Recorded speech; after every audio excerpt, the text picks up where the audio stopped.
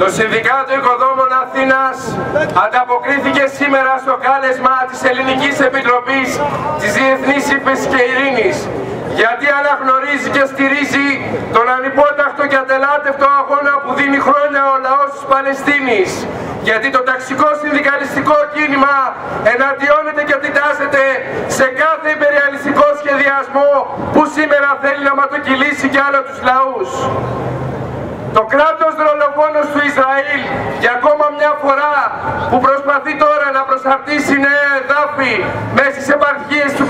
του Παλαιστινιακού λαού είναι σχέδιο ενταγμένο στα σχέδια του ΙΠΑ και των ΝΑΤΟ για να έχουν καλύτερη μερίδα και καλύτερους σχεδιασμούς στη Μέση Ανατολή. Καταγγέλνουμε από αυτό το βήμα σε όλους τους εργαζόμενους ότι την ίδια ευθύνη έχουν τόσο η κυβέρνηση Νέας Δημοκρατίας όσο και οι προηγούμενοι του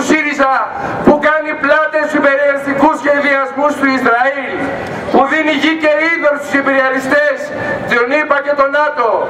το ταξικό συνδικαλιστικό κίνημα οι πρωτοπόροι εργάτες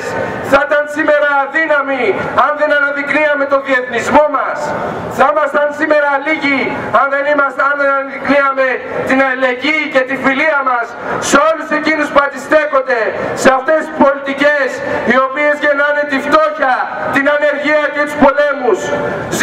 ευθύνη, ζήτω τα δίκαια αιτήματά της.